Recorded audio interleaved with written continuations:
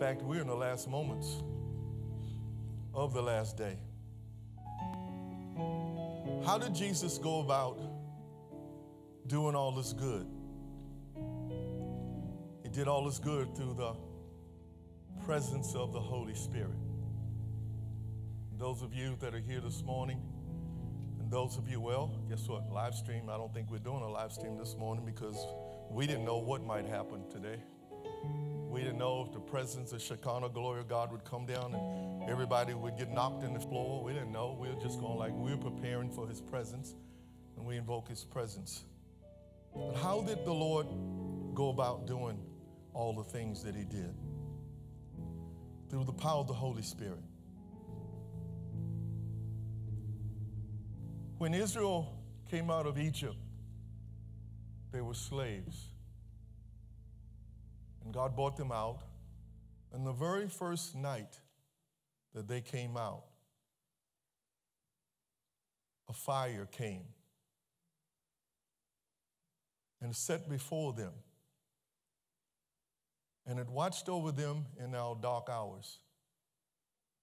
And even sometimes when they had to move at night, the fire was there to show them where to go, how to step, what to see.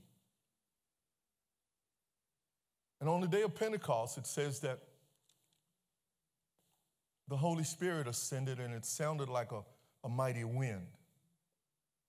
And that mighty wind came in to where the 120 were. And it says that they, they saw what looked like cloven tongues of fire set upon each one of them. It was there. They prepared themselves, they stayed there. Lest all of the 500 that had seen Jesus and talked to him, they weren't there. But the others, these stayed. They wanted something to happen in their life. And it says that when he came, it says, cloven tongues of fire set upon each one of them. And as it set upon each one of them, it says that the, the wind of the Spirit gave them, they began to speak in tongues.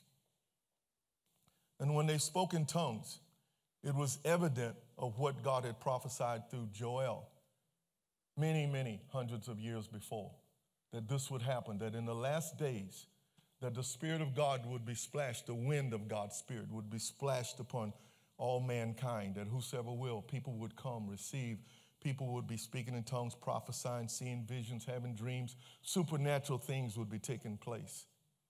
And we come to this time where we're in a season where men are trying to push God out of the church and trying to bring themselves, the, hu- the humane uh, thinking, the secular thinking, into the church.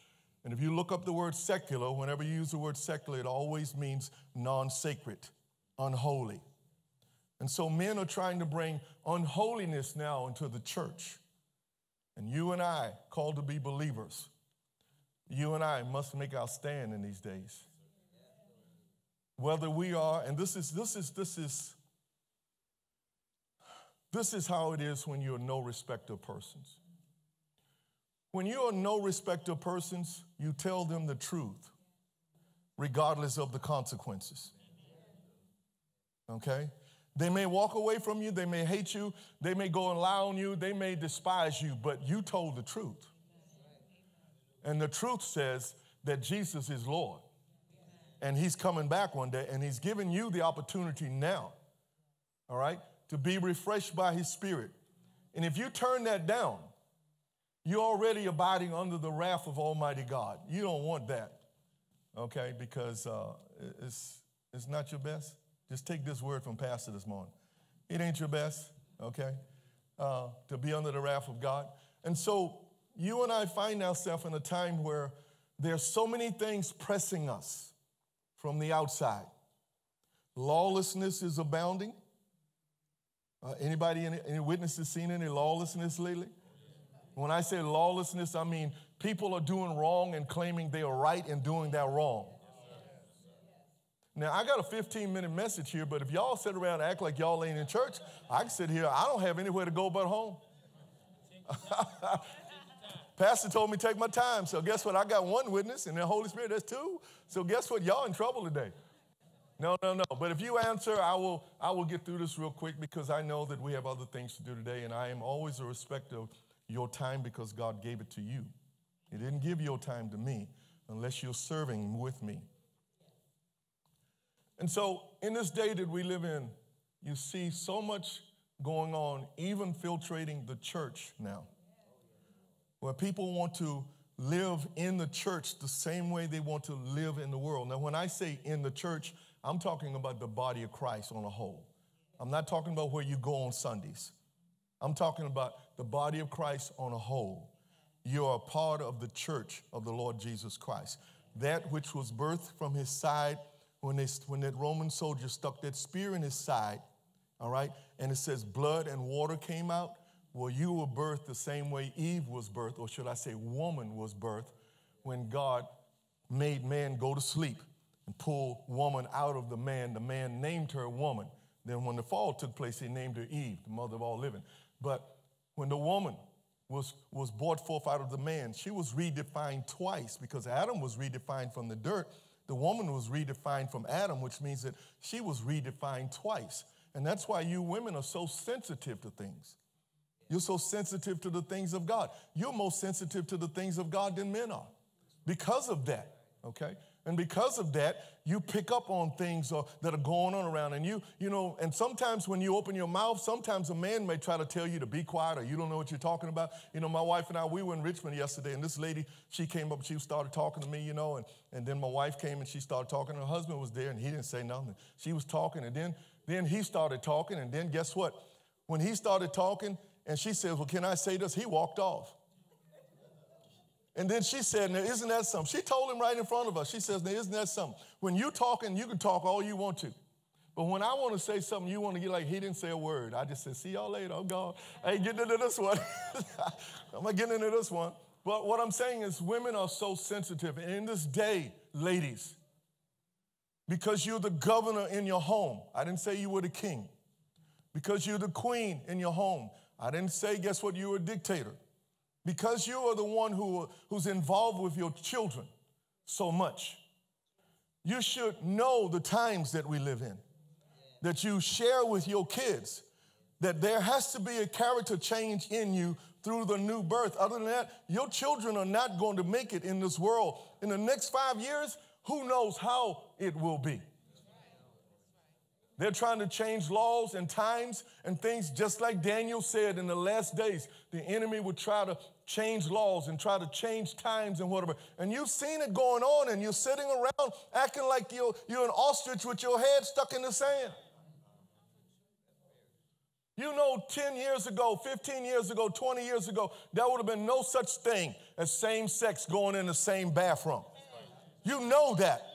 You can, you can see the stuff that's going on around you, and you're the ones that's got the power to change it, and you're not willing to pray before the Lord God. His word still says, If my people who are called by my name would humble themselves and pray and seek my face and turn from their wicked ways, then I will hear from heaven and heal the land. Well, don't you want the land healed? It's not going to be healed by you just walking around and saying, well, you know, they just want to live the way they want to live. Everybody's got a choice. No. We have one choice. His name is Jesus. if you want to live, his name is Jesus. I'm glad you know that name. And so, how did Jesus go about healing all who were oppressed of the devil? God was with him. The same power that went before Israel every night and every day it's the same power that you and I have now to carry us through dark times and even through the daylight hours where we need to see how to move, maneuver around things so that we might get to our blessing.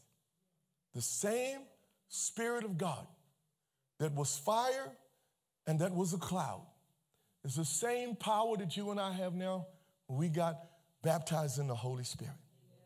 The same ability to see that you don't have to be blind anymore.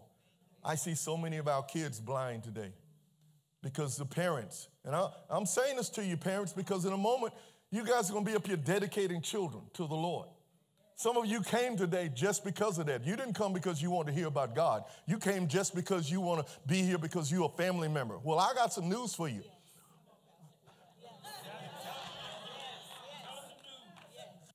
I'm gonna stay over here. I like this guy. okay. I'm, I'm gonna say this to you. All of creation came from God. And all of us are responsible to Him.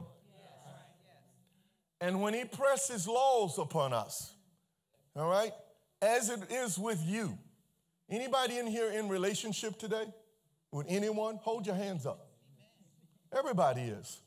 You got a mother, you got a father, you got a, you know, Uncle Boo Boo Bobo, you got Uncle Suey Suey, whatever his name is. You got those that don't know who they are. You, you're in relationship with somebody, okay? There are rules to every relationship. Don't fool yourself. If you don't have rules, you're abused. There are rules to every relationship, all right? And if you don't set rules, then abuse takes place. And God has set the rules for our relationship. If a man love me, women you included, if a man loves me, he will do what? He will keep my commandments. And my father will love him, and we will come unto him and make our abode with him. See, the rules of the relationship are established by God. See? And so if you don't love his word and you don't keep his word, then there's only one place for you. There must be somebody else's words that you keep and somebody else's rules that you abide by. And they're not the Lord's. So there must be somebody that stole you away from God a long time ago. We call him the devil. He's named Satan. But guess what? Either way, He's the thief who comes to steal, kill, and to destroy. And he's been destroying your life a little bit by little bit all your life. But when you meet Jesus, somebody say Jesus. Jesus. When you meet Jesus, things turn around. Now, I don't know about you, but I got piles of witnesses of people that we've met over the years that everybody will tell you this is not something that can just go on and you just go like, okay, Jesus, thank you, Jesus, thank you, Jesus. No, no, no, no, no. This is a relationship that requires some intense pursuit. Because he's told us, he's warned us, he didn't do it to the end, shall be saved. And you won't endure to the end without his strength. We see so many people in the body of Christ falling away. A young lady just told me yesterday when, when all this stuff with the pandemic went on, thou church, she was asking us about church. And she told us, she says, well, our church, we couldn't sustain it, and so we had to sell out to another church. Now, isn't that something? That the church of God has got to sell its buildings and things to another church. Do they love the Lord? Yes, they do. Does God love them? Yes, He does. See, the, the pressure is coming that you're going to either believe the word or not believe the word. See, when God says it, guess what? By stripes you heal. A little while ago, I saw people up here. I pray that every one of you, you came up to receive. You're an empty vessel. An empty vessel. Allow the tea bag that you are to, guess what? Influence the water. Not the water influence you. Allow the tea bag that you are to percolate and to become more. Now, we're going to look at this scripture and, and I really want you guys to get this because with the Lord, all things is based on believing. All right? Please go with me to the book of Hebrews. And then I'm going to let you guys, well, you won't go home so fast, but you'll be here. But I pray that your favor that you're seeking will come from the right place. We've been talking about favor, you know, for a little while, and, and favor is simply, you know, somebody loving you so much that, you know, that whatever you do, that favor and love is still there. Don't, I don't know if all of you are church people or not. Uh, I don't know. I know who's here and I know them, but don't per se seek gifts and abilities. All right? Because all gifts and abilities will pass away one day. Seek love. Now, by the faith, hope, and love. But the greatest of these is love. All right? The greatest of all things is love. Because gifts and all the other things will pass away, even faith will pass away, hope will pass away. But love won't. Because love is God. And so if I seek love above all other things, then love itself will produce all the other things in my life that I need. Because faith works by love. So if I seek love, who is God, then all the other things that I need in life, they'll come to me because he becomes the audience of one. All right? And that's the audience that you need in your life. The priority, love. All right? In Hebrews chapter 1, we're going to read this and and it's important for you because some of you are here today. I know you're not born again. And I could pick all of you out. But that would be embarrassing to you. If I did it in public, it would be embarrassing. If I did it privately, it would probably work. And this is why you have to watch what you say and how you say things to people because guess what? Everybody can't handle everything publicly, and some people can't even handle things privately. All right? But I know that you're not born again. And you know that you're not born again. I'm not going to the bird story today, all right? You know that you're not born again, okay? And God knows that you're not born again. And the devil knows that you're not born again. And this is why we gave the invitation, because some people haven't made up in their mind yet who they are and what they want to do in life. All right? And I'm always here to tell you the truth. All right? Regardless of the consequences, you may walk away from here today and say, I'll never go back to that church. I ain't never going to another church of the Lord Jesus Christ in my life. Well, guess what? Sad for you. I feel sorry for you. And one day when you're swimming, you'll think about it. But the deal is today you're here. And regardless of what you want to hear, you're hearing my voice. And because you're hearing my voice, the Holy Spirit is speaking to your conscience. You need to get this.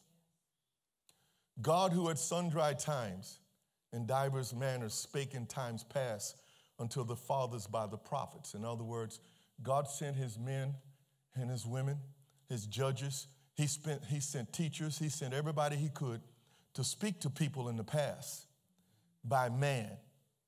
Okay? by the unit, by the integrity, by the character, by the, the man who could interpret the word of God.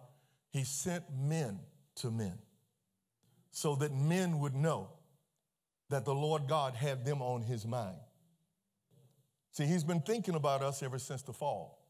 In fact, he thought about us before the fall because it says, before the world's foundation, Jesus was crucified. So he thought about you before the world was made. But the deal is, are you thinking about him? Because then it says this it says, has in these last days. Now, I believe that this is Paul writing to the Jews because all of his other letters were written to Gentiles. But I believe that in his heart, because he always wanted his own to be saved, I believe that this is the book that he wrote to the Jews because he wanted because they understood some of these things about Melchizedek and the high priest and whatever. So he wouldn't write this to the Gentiles because they had no understanding about this. But all of this whole book is written to about Jewish history and the involvement of Jewish history in the in the form of religion. And so he's saying these particular things. He says, have in these last days spoken to us by his son. His son. He's speaking to you right now by his son. Not, not by the interpretation of what a revelation came to a man, and then that man had to travel on foot or horseback or something and go. And by the time he got there, all of the things that broke his focus was there and whatever. And some things came out that was right, and maybe some things didn't come out that was exactly right. But Jesus is never wrong. And what he's telling us about these days and about your life is exactly the will of Almighty God. This is why it is so important to hear somebody talking to you when you don't want to hear somebody talking to you. You need to learn, and I learned this a long time ago learn to be wrong. Well, I need to be right all the time. No, you don't. You need to learn to be wrong. You need to know that Jesus still heals. Get wrong in that attitude or that paradigm that you have about going to church. Well, I just don't want to go to church because I don't want to give that man my money. Let me tell you something. That's because you don't know the scripture nor the power of the scripture. The word says that when you're a tither, when you're a giver, and whatever, you do those things because guess what? You believe and know that Jesus is alive. Not because that preacher or that church over there's doing anything. I can tell you right now by experience, don't trust people to live on. Can I hear you over there, Pastor? Don't trust people. Don't trust people to live by. Okay? You better put your trust in the Word of God. All right? Now I got three minutes. I'm going to shut this down. And when I shut this down, the door's going to be open. You didn't answer the invitation a little while ago. But the Holy Spirit's still knocking at your heart. Can't you feel your heart going? Having these last days spoken to us by his Son, whom he has appointed heir of all things, by whom also he made the worlds, who being the brightness of his glory and the express image of his person, upholdeth all things by the word of his power. When he had made himself purge our sins, he sat down on the right hand of majesty on high, being made so much better than the angels, as he have had, as have, have by an inheritance obtained a more excellent name than they. The name of Jesus. And what he says is what abides today. And when Jesus comes and he says, Today's the day of salvation, buddy, you better jump up and run. When he says, Today's the day of your healing, buddy, you better start feeling all over yourself and going, Everything feels well. When he says today's the day of more than enough, guess what? You ought to be looking at your bank account, feeling your wallet, moving like this, looking at your bank account, going, Jesus just gave me a word. Jesus just told me that it's all right. Why? Because guess what? He's the one who upholds all things by his word. And so when his word comes, guess what? Can't nothing put his word down. Nothing can push it down, nothing can annul it, nothing can tell the word of God that you don't work today because Jesus is the one who's upholding all things by the word of his power. And so, no matter how low you've been, how down you felt, the word of God will pick you up just like this. And he won't pick you up and let you back down. He'll pick you up and hold you. And he'll shape you while he's got you there.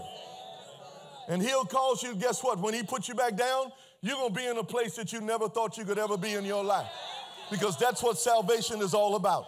That's what the grace of God is all about. That's what the mercy, the true mercies of Almighty God, they're all about. You are never the same after you accept Jesus Christ. You are never the, do I have any witnesses in the house? You are never the same after God puts his hands on you. You are never the same. You may look on the outside like you used to look at that picture, but let me tell you something. Give yourself a little time, and guess what? That picture that you looked at, that picture will not look like you anymore. You begin to change because God's resting you. He's he, listen, listen, listen, listen, listen. You're in God's mirror. And God's fixing you up for how He wants you to look when you meet Jesus. You're a bride. And he's going to make sure that you have the prettiest gown on. Woo-wee. Cinderella slippers look nothing like those Jesus is going to give us. she had go, she had glass slippers. Let me tell you something. Jesus got some better slippers in mind for us, all right? And when we come down that aisle and meet him, let me tell you something. You're going to be the most beautiful thing that you ever even thought you, you never would ever be. By, by, by your imagination, you think you look good now. You don't look good now. You're just as ugly as you could ever be. But let me tell you something. When God get finished with you, you're going to be so good looking that Jesus actually calls us, he says, we're to rule the world, Mr. and Mrs. Jesus Christ. We're to reign and rule over the world. We're going to be the ones. You, you think that world out there is running things right now? I got some news for you.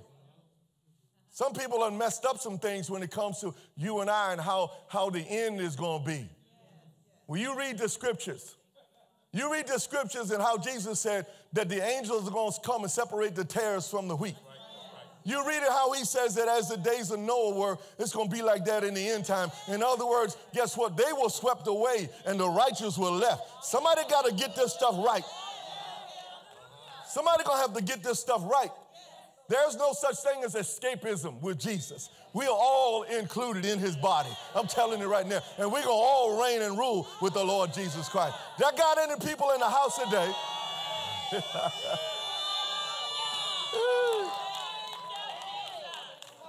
Mercy.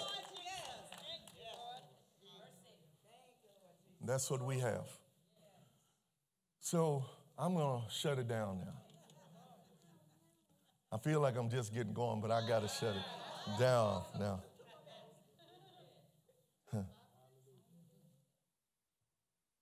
For God so loved the world. What was in this world to love? Can you imagine all the sin that he's seen? All of it. Can you imagine all the ugly words that he's heard? All of them. Hmm? Can you imagine how he heard you one day blaspheming his name?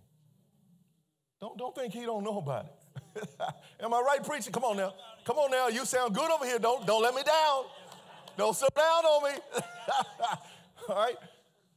Can you imagine all the curse words against God? that he's heard. Hmm. And you think that he's just going to dismiss all that? No, he gave you a way out of all that. I'm so glad for his mercy. All right? He gave you a way out of that. And this is why your family members pray for you. I saw Nicole back there. Hi, Nicole. I saw Nicole back there last week, had her hand up because she's believing for her family members. A lot of you had your hands up. You, you believe why? Because you don't want them to meet God without Jesus. God's a consuming fire. You don't want your family member, you don't want your husband, your, you see your kids going to hell, and you just let them walk there? You don't, you don't tell them, listen, no, I'll slap you backward and upward and any way I can because the word of God says that the rod. And so today my hand is a rod. I don't care what the world say. I, am not living in the world. I live in the kingdom of Almighty God. The rod of correction will drive foolishness from a child. That's the problem today. That's why you got so much disrespect. Some of you need to say, my number 12 gonna be the rod today. and they will get it quick. They'll get it quick. You don't, don't be afraid of somebody trying to break laws and trying to make laws to cause you not to love God. We don't abuse our kids, never have. I never would even correct my kids in front of other kids. I take them home and correct them. See, because there are things that you do, you don't break a child's spirit, you don't break, you don't devalue anybody. When you start devaluing a person, you start selling that person. Do you know that? There's a price on your words. You know that? There's a price on your words. When you tell somebody that they are nothing or they are this or that, you just sold them for the amount that you figured that they're worth. That's what Judas did with Jesus. Sold him for the price of a slave. All right? You don't devalue anybody. You think let things come out of your mouth, they better be edifying. you better be lifting them up. And so when we take our children, we never abuse our kids. We always let them know, listen, you can be this, you can be this, you can do this, you can be that. I picked a little boy up over there just a while ago by the Spirit of God, and I lifted him up, and I told him, I said, one day the Lord's gonna lift you up like this. See? You, you, you edify kids, you, you, you speak to them, but you can't let kids be disrespectful. And you guys that came here today to be witnesses, you're gonna be godly witnesses, then guess what? You gotta do it the way God says to do it. You can't let them go like you cussing your mama out and you don't you don't knock their teeth out. You cuss your mama out. If you cuss your mama out, the preacher don't stand a chance because your mama brought you into the world. You cuss your daddy out? You talk bad to your daddy? You, you tell your daddy anything that comes into your mind? We need to back up about 10 generations where we just slapped them. And I know some people don't like it, but when you meet Jesus, I'm telling you, he's gonna be the same way.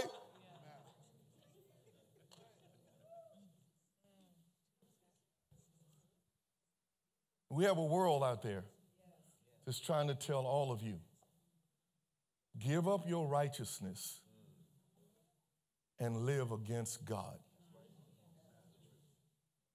That's why I say what I say. If you knew me personally, you would love me dearly. But because you're looking at me as a pastor, guess what? You're going like, oh, that man don't know what he's talking about. Oh, I know what I'm talking about. My mama, let me tell you something. See this side of my face? I remember a whole lot of times this side of my face felt a whole lot different than this side. this side of this felt a whole lot different than. Can I get an amen, sir? see, see, all I'm saying is Jesus is upholding us with truth. And if you live truth, the blessing of God will be on your family. See? But don't throw that away because somebody's putting pressure on you out there to belong to a club or belong to a group or let's be, let's be a part of this gang. Well, don't you want to fit in? Yes, I do fit in.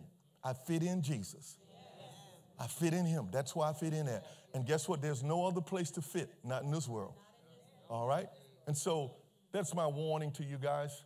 My love for you guys today. I could talk to you about love. And I'll leave you with this note on love. Love is the perfect place in the Holy Spirit. It says that the Holy Spirit, whom we were praising this morning, he shares the love of God from himself, from Daddy God, from Jesus through our hearts. All right? So if I love you by God, then guess what? I don't talk about you. Oh, I heard somebody say, That's true. Say it out real loud. Okay. I don't, if I love you by God, there's a burning fire in me that no matter what goes on, my love still burns. Now, we may have to correct some things, but I don't have to correct my love. I never have to correct my love. We have to correct situations, circumstances, and all those things, but I never have to correct my love because my love is from God. So when you understand perfect love, you'll know you have to walk upright a whole lot straighter than you've been walking yesterday. All right? God bless you guys. Woo!